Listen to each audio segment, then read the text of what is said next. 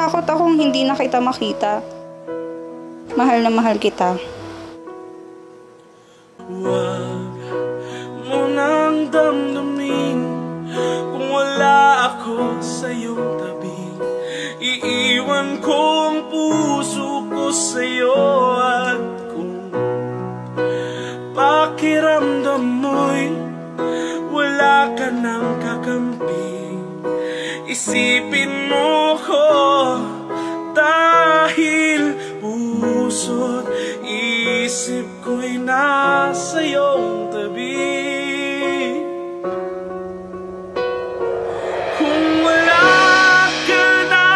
maintindihan Kung wala ka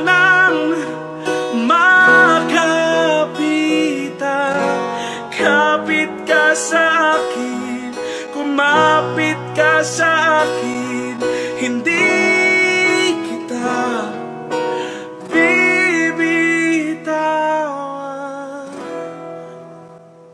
Bakit parang malungkot ka?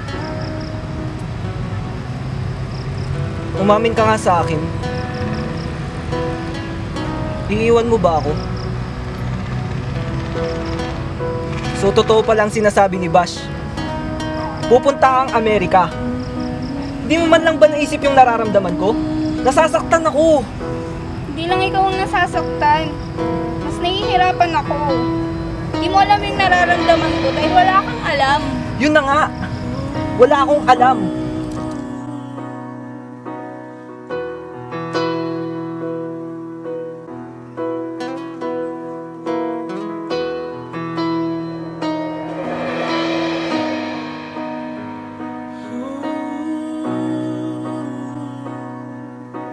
Mahal kong Mike, kamusta na?